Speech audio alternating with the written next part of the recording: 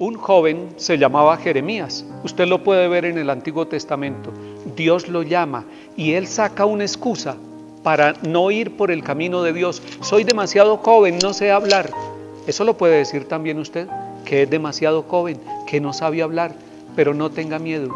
El Señor lo toma en su juventud y le enseña a hablar. Si quiere ser sacerdote, acepte el camino de Dios. Será feliz. El Señor estará con usted.